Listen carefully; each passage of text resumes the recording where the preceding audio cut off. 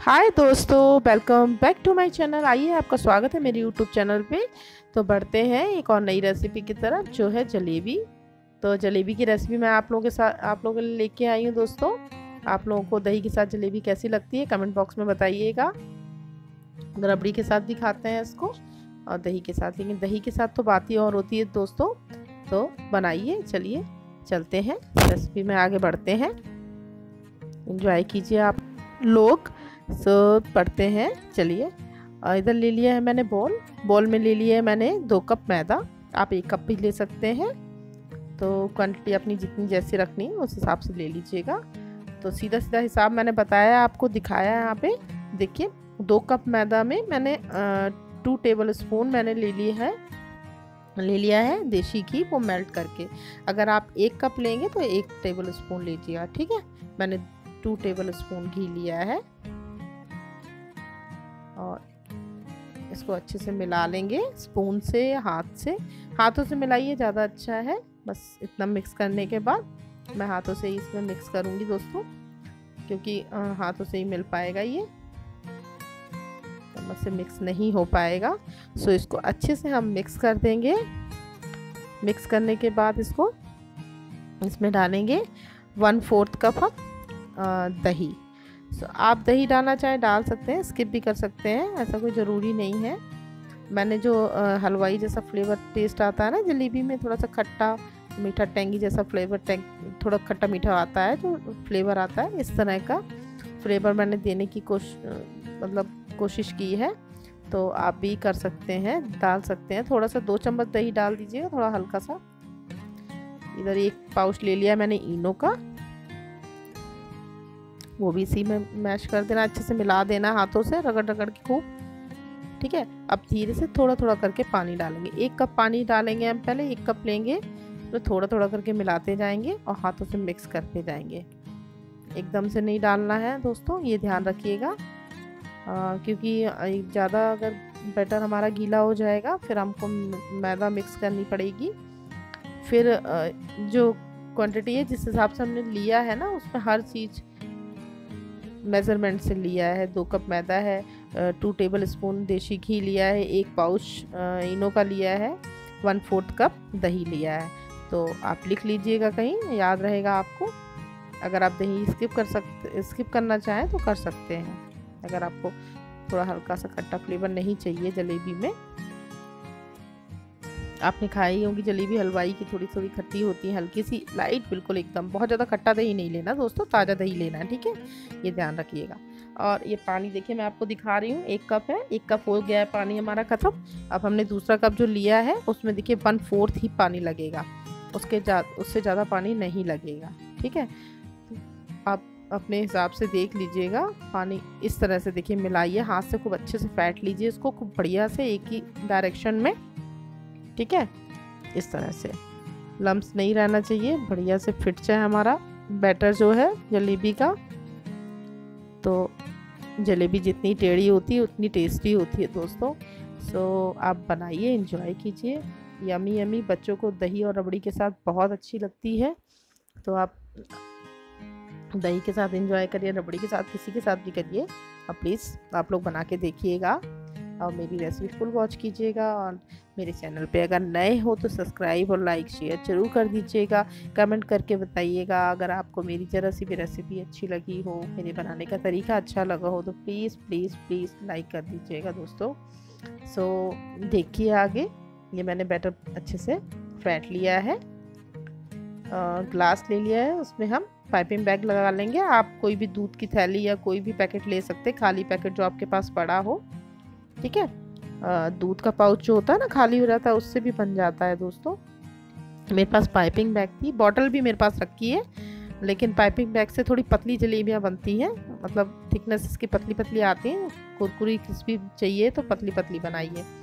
और पाइप जो बॉटल रखी है, उसका थोड़ा सा ना थोड़ी उससे मोटी आती इसलिए फिर हमने उसको यूज़ नहीं किया है। ये देखिए धीरे धीरे बैटर डाल लेंगे इधर उधर ना जाए। आराम से डालिए। ये देखिए कैसे फर्मेंट हो गया है अच्छे से दही डाला है इनो डाला है।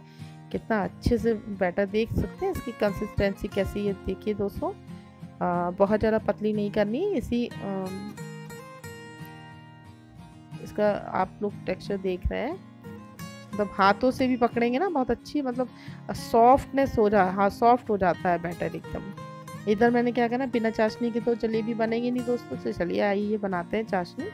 एक कप ले लिए चीनी आधा कप मैंने लिया पानी। ठीक है? आ, और ये मैंने गुलाब रोज़ कलर जो होता है ना गुलाब का जो फ्लेवर होता है वो मैंने कलर डाल दिया है।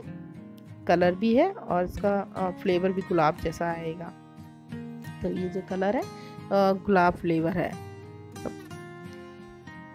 और इलायची फ्लेवर देखिए मैंने डाला इलायची थोड़ा सा तो दोनों कॉम्बिनेशन इतना अच्छा आया था दोस्तों जलेबी इतनी टेस्टी बननी थी यमी बनी थी। तो आप लोग बनाइएगा कलर डालना चाहे डालिए स्किप करना चाहे स्किप कर सकते हैं कोई ज़रूरी नहीं बिना कलर के भी अच्छी बनती हैं। इलायची आप डाल दीजिएगा। सो so, ये देखिए मैंने अच्छे से मैंने क्या किया है इसको रोल रोल कर लिया है। जलेबी टेढ़ी हो कैसी भी हो कुछ भी कैसे भी बने आप बनाइए बना के देखिए। एक बार बिगड़ेंगी दो बार बिगड़ेंगी धीरे धीरे बनने लगती हैं। हमसे भी होती हैं गलतियाँ हमसे भी गड़बड़ होती हैं ऐसा नहीं है। सो so, जलेबी तो वैसे भी टेढ़ी होती है तो टेढ़ी बन जाए कोई बात नहीं दोस्तों। खाने में कोई अंतर नहीं होगा टेस्ट में कोई भी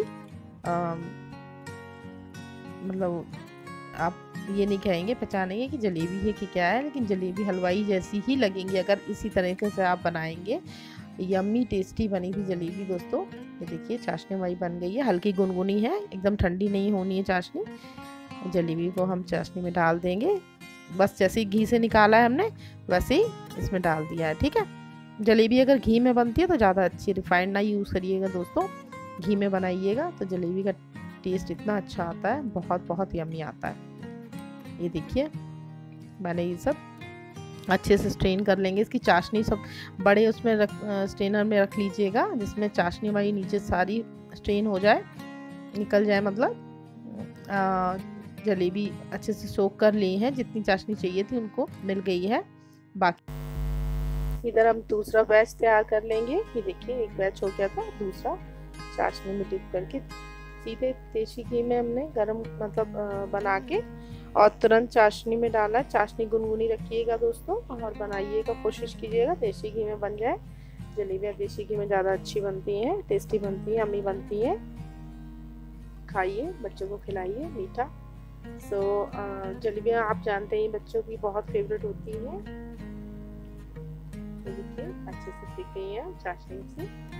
चाशनी में जो है जितना चाशनी सोख करनी थी उतनी कर ली है। जल्दी में जूसी जूसी जलेबी देखिए दोस्तों कितनी यमी यमी लग रही है देखने में, खाने में भी उतनी ही टेस्टी थी दोस्तों। आइए एंजॉय करते हैं, आप लोग भी टेस्ट कर लीजिए गार्निश कर पिस्ता बादाम जिससे डेकोरेट करना चाहें, कर सकते हैं गार्निश कर सकते हैं जलेबियों पे।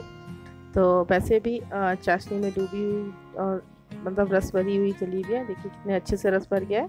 कितनी यमी लगती हैं दोस्तों बच्चे से भर गया था रस और क्रिस्पी भी बहुत बनी थी दोस्तों, शुद्ध दही के साथ और रबड़ी के साथ एंजॉय कीजिए। घर पे खिलाइए, बच्चों को खिलाइए, बड़ों को खिलाइए और जैसे का फेस्टिवल दीपावली है सो आप लोगों को बहुत बहुत बहुत मुबारक हो, बहुत शुभकामनाएँ हैं आपको, आपके परिवार को, सबको दीपावली की हार्दिक शुभकामनाएँ दोस्तों। तो प्लीज़ प्लीज़ शेयर कीजिएगा मुझसे। आप लोगों ने मेरी अगर वीडियो देखी है, आप लोगों को मेरी वीडियो को बनाने का तरीका अच्छा लगा हो तो प्लीज़ लाइक शेयर सब्सक्राइब कर दीजिएगा कमेंट करके बताइएगा कि आप लोगों को मेरी रेसिपी कैसी लगी है। और बना के ज़रूर देखिएगा दोस्तों। और चलिए मिलते हैं आगे दूसरी वीडियो में। तब तक के लिए bye bye thank for watching दोस्तों। बाय